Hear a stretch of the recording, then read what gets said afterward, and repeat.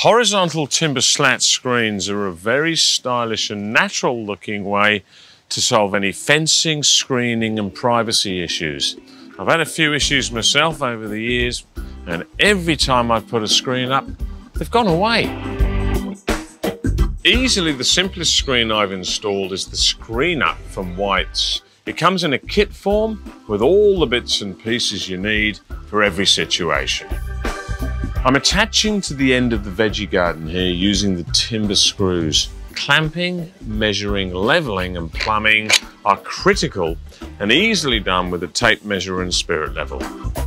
Once the channels are fixed, slide in the spaces and slats until you get to the top. And then on goes the capping piece. It really is that simple.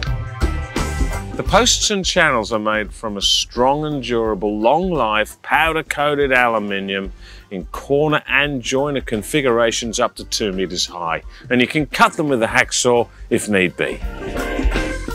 This DIY project is perfect for all types of screens and fences, and it's also good as a structure for climbing plants.